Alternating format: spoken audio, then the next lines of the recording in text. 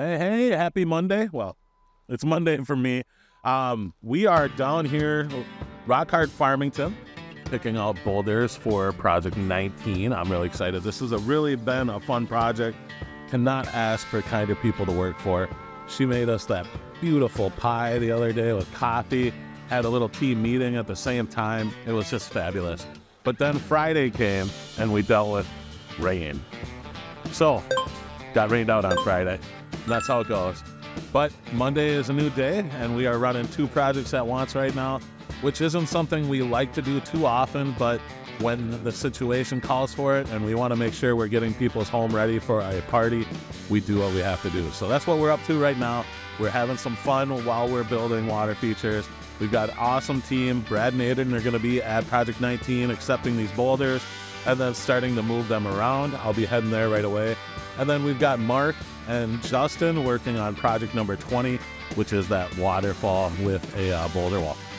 Got Boulder Dan up there taking his seat, getting ready to help us pick out our boulders. Mr. Boulder Dan, sunrise coming up.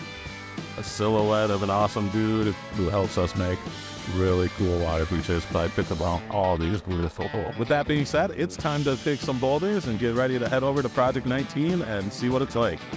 I really hope it's dry. It's a hard hillside without it being dry. All right, let's do it.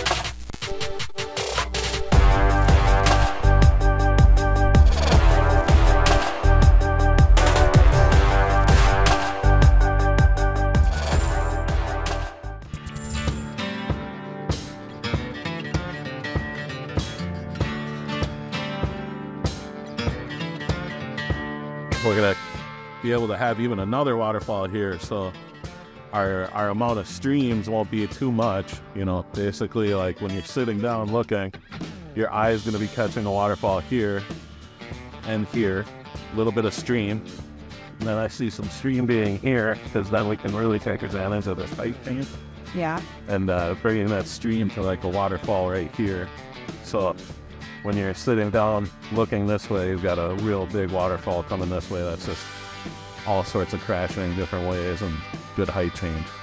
You know, so we've got a bigger dramatic waterfall that you can see through there nicely, nice Okay. and easily. And then from there, we got a lot of waterfalls. I mean, you can see our, our height change is, Yeah. is great. So we got to do some really cool dramatic stuff.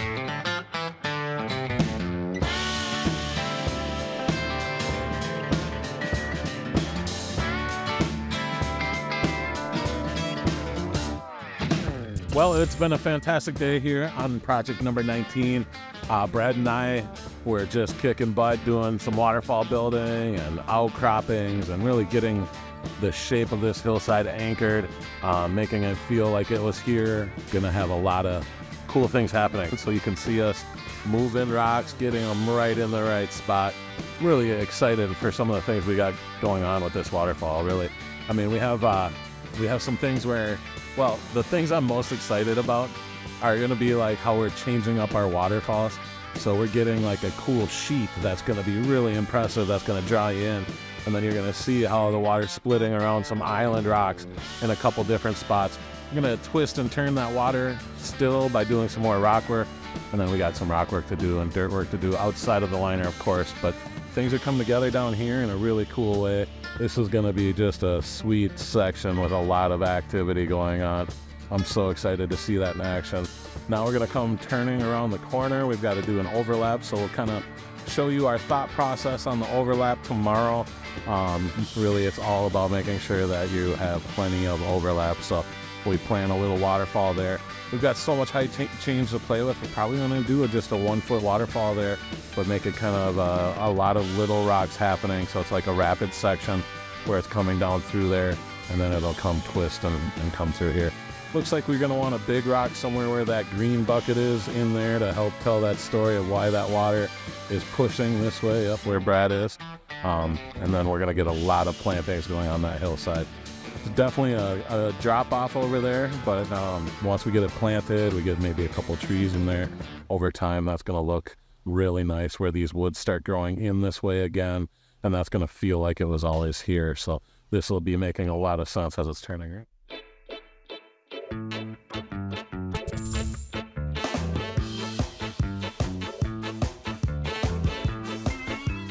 There are so many things that keep happening that I keep getting more and more excited about. Uh, we're making a nice little walkway to hug this uh, the deck as you're walking through. We're making it interactive. We've got some really cool things going on. So I don't know what to tell you what's the coolest quite yet.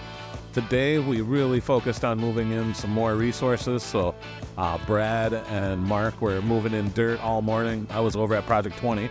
So if you have not, this is a good time to mention it hit that subscribe button, tune in weekly, turn on your notification bell because we're always going to bring you something brand new weekly. We're very lucky to have the team we have. We, we all very much enjoy working together. Uh, it's hard when we split up, but those guys were working all day on Project 20. We don't usually do two projects at once, but sometimes we need to to make sure we can uh, hit people's targets and their goals. We're always going to bring you something new of us building waterfalls and kind of showing you exactly what we do and how how we make our decision.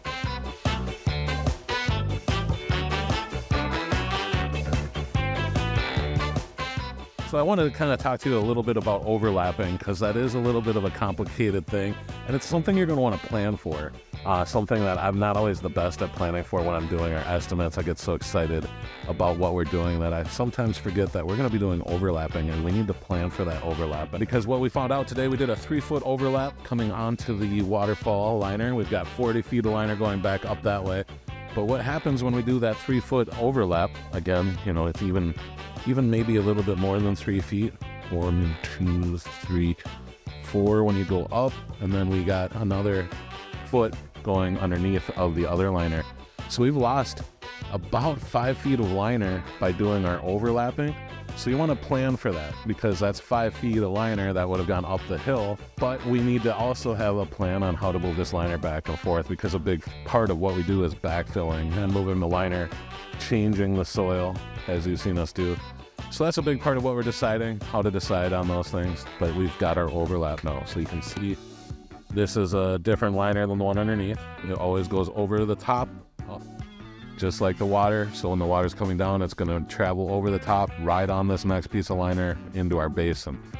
Think like the water. Water can't back up too much further than a couple of inches. We're going to have this pooling up here, so we want to make sure that our liner that I'm standing on, which is the first original liner, goes up a good ways, which it does. So we've got that a nice foot tall or not more than that up above our water line. So nothing to worry about there. Overlap's looking good. We're gonna have some really cool waterfalls happening and we'll get to that later. That's gonna do it for the end of the day. Awesome.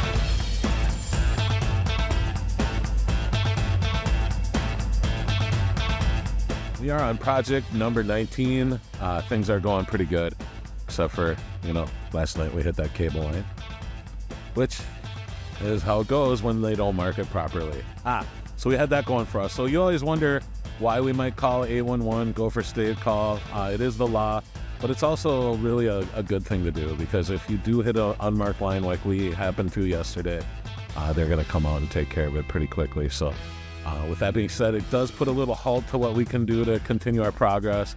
Uh, it does. It might potentially change the order which we do the waterfall here, depending on where they end up fixing and repairing that line. Uh, but they're supposed to be here between one and five today. The cool thing on a big project like this is we are we, we have plenty of things to do. So with that, uh, we got Justin and Mark working on plumbing. We have three five to nine thousand gallon an hour pumps. So we don't use the three inch check valve. We use the two inch check valve and then quickly convert to the three inch.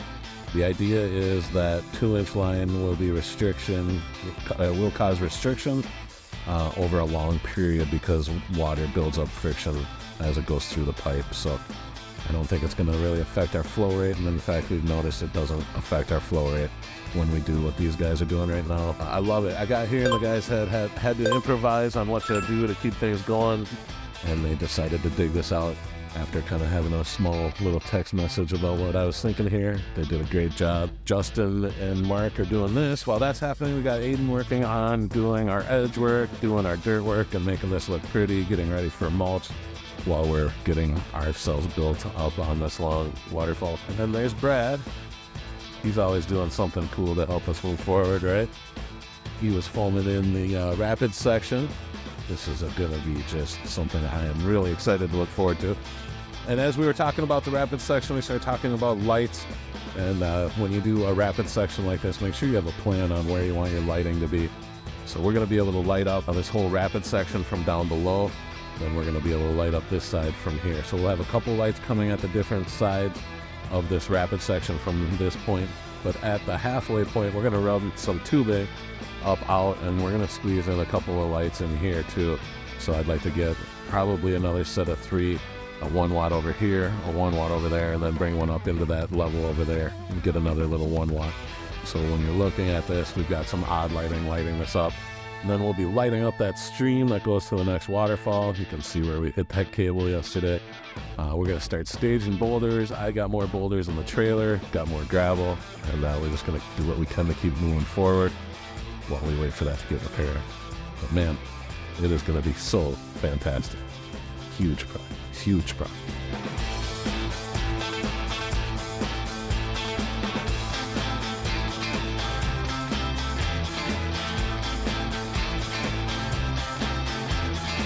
End of the day here. Great day. The guys got all the pumps and the basin plumbed in, hooked up, check valves together.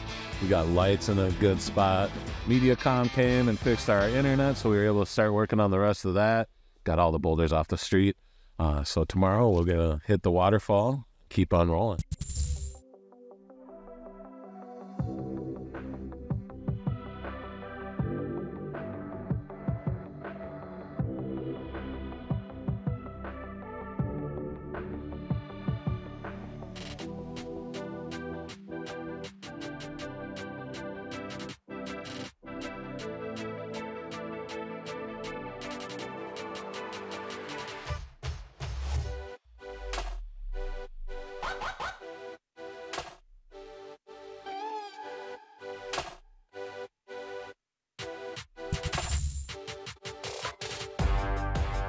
All right, so I'm usually like the resident dad here on site, and they just had a boulder slip out of the straps, and uh,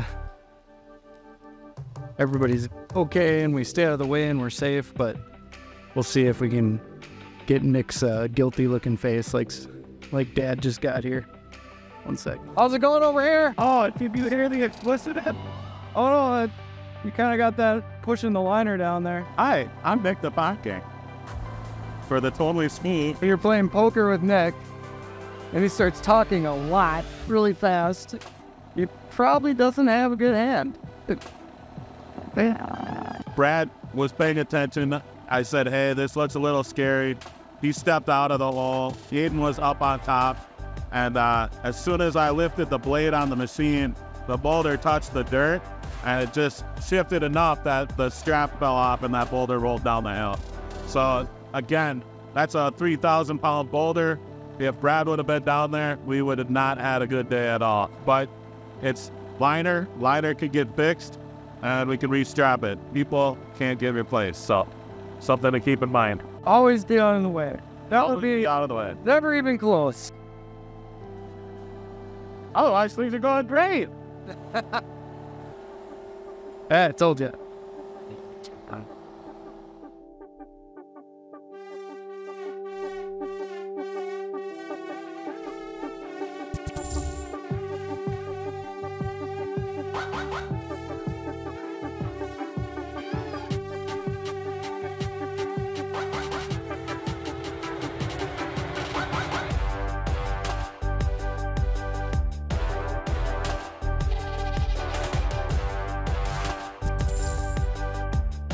Got Brandon. He just made it down this steep hill here.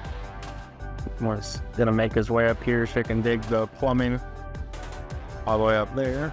Have all the diffusers right up there. We have three of them. All right. So Nick's been having a heck of a time backing this thing. It's a new truck, you know, but he's been having a hard time backing it down at night. He can pull in fine, but this driveway kind of twists and turns.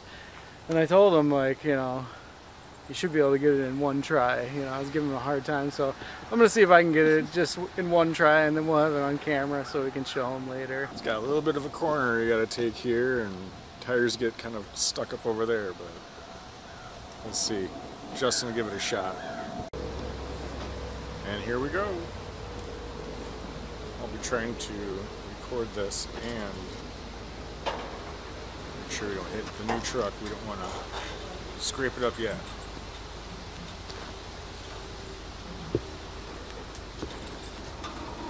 Looking good on this side.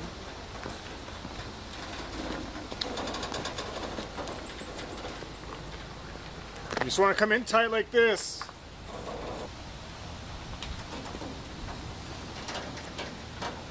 You're good.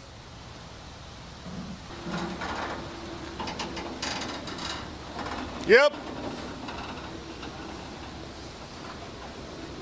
Looking all right.